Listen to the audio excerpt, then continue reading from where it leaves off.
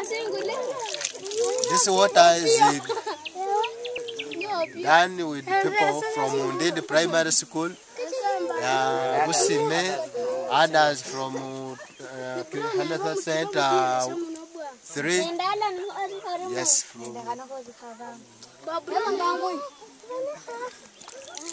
And this is uh, clean water for the whole sub county. When it, during dry season, they, they come f- to fetch water from here. The whole sub-count of Bosnia. Busime. Yeah, this their permanent source. Mm. Yes, yes.